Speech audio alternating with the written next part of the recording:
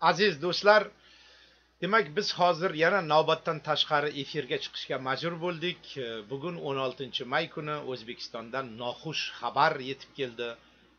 O'zbek xalqining suyukli va atoqli yozuvchi tohir malik vafot etganlari haqida hozirgina biz xabar topdik. Biz yozuvchining oila a'zolariga ta'ziya bildiramiz. Tohir malik o'zbek adabiyotida o'ziga xos maktab yaratgan juda ko'plab muxlislarga ega bo'lgan zabardast yozuvchi edi. Iymon e'tiqodli insof diyonatli inson edi. Odam sifatida ham u kishi hammaga o'rnak bo'larli ajoyib bir inson edilar.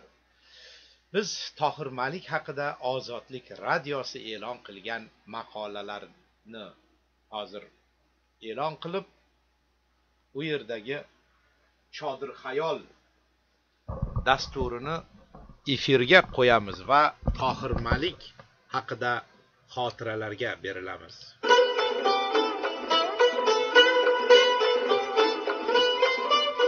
Havo mavjlarida ozodlikning chodir xayoli.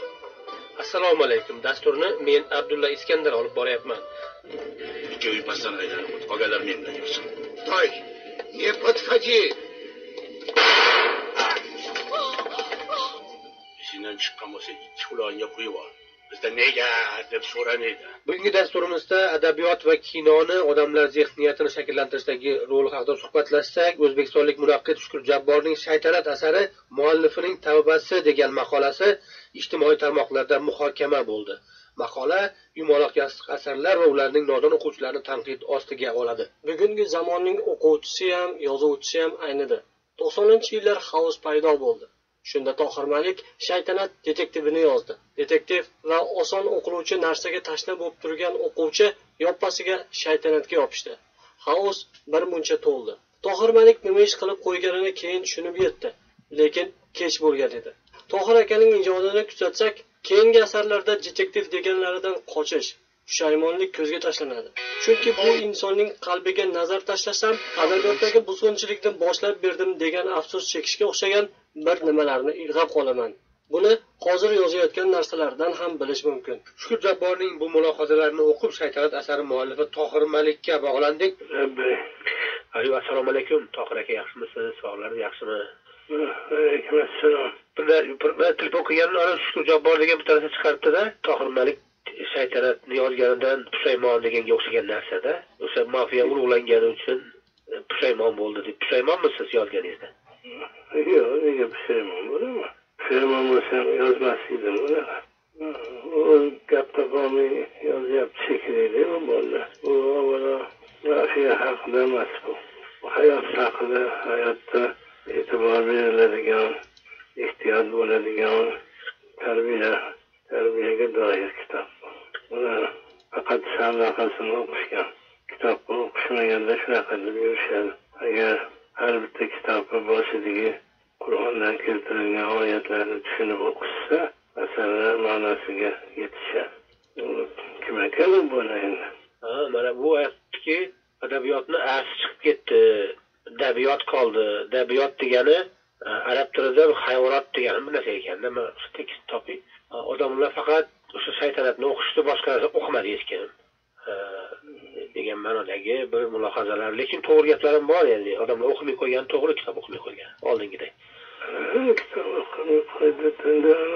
bema'ni asarlar ko'payib ketdi. Lekin u arabchani bilmaydigan bola ekan. Adabiyotda tabiat degani unaqa narsa emas. Dabiyot degani. Hayvonni o'zi arabcha so'z oldin tilni o'rganib keyin fikr yuritish kerak endi bizga o'qitishganda o'sha adab odob degan so'zga qurilgan deyishgandida odoblar to'plami degani.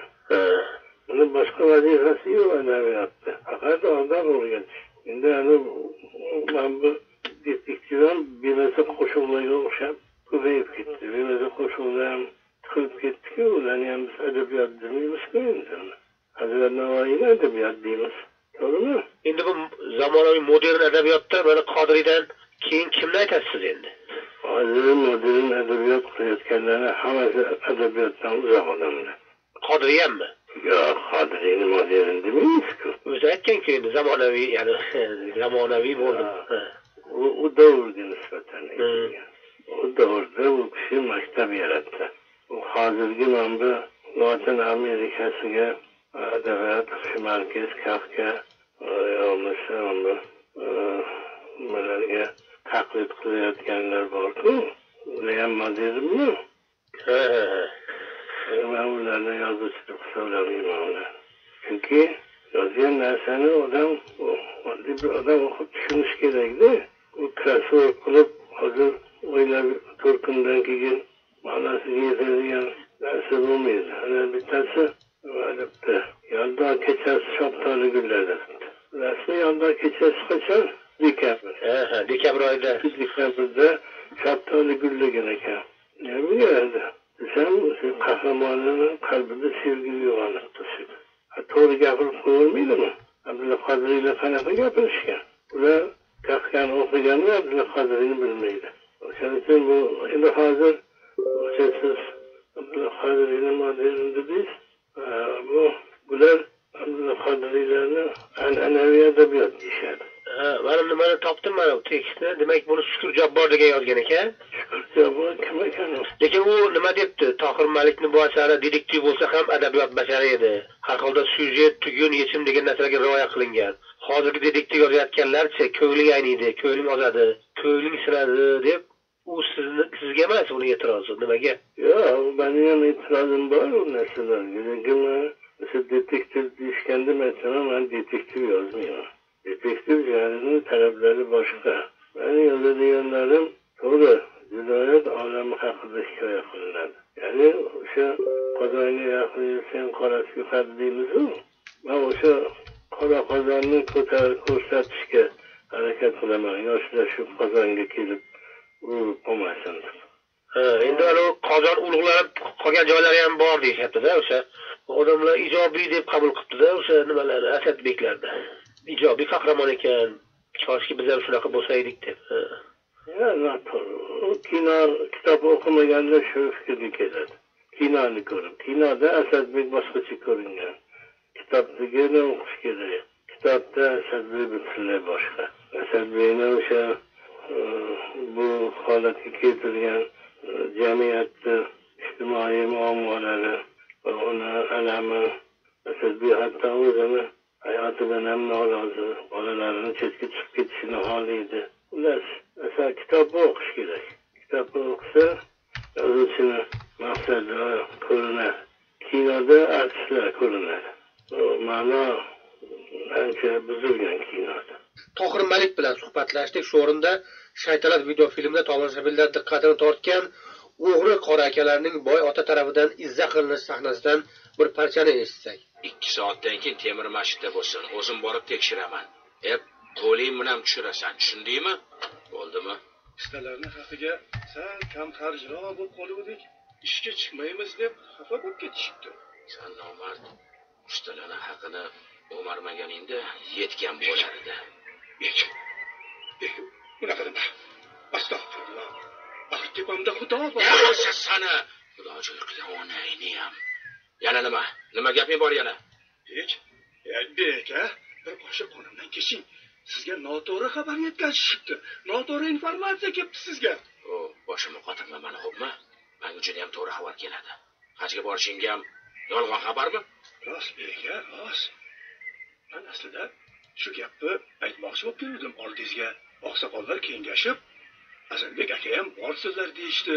Birga borsak bir ham yarashadi bir ham yarashadi. Birga borsak ikki marta haj qilgandek bo'lamiz. San bilan hajga borsam yarashadimi? Man Hmm, bilan emas. Hmm. shu asadbek hoji bo'lib yurishingiz sizga yarashadi asadbek hoji. Pulni qayerdan olmoqchisan. Endi qarindoshlarimda bor. Yakkalatib qo'yishmas. O'n o'n besh ming ham pul bo'pti qarab turishmas yordam qilishar shuncha yil shuncha gunoh qildik. Oxiratda nima deb javob beramiz? Bu yog'ini ham o'ylaylik. Oxirat degan? Ha. Mana qara labay o'n besh ming bilan borib kelish mumkin a o'sha yoqqa? Albatta. Mayda chudasi ham bo'ladimi? Bo'ladi. Xarajatni hammasini qoplaydimi? Chiqadi. Qoplaydi hammasini qoplaydi. Uncha muncha qoladi ham bir yigirma mingcha qoladimi? Yigirma ming qolmasa o'n mingcha qoladi lekin. O'n ming degan? Ha o'n ming qoladi hisoblab chiqibsan-da ha endi odamlar gapirib yurishibdiyu san qarindoshlaringni tinch qo'y xo'pmi? Na, mana u o'n mingni olganda qulog'ingga quyib ol. San bu harom oyog'ing bilan makkani iflos qilmagin. Xo'pmi? Yerda o'zida qolgin tushundingmi ol ana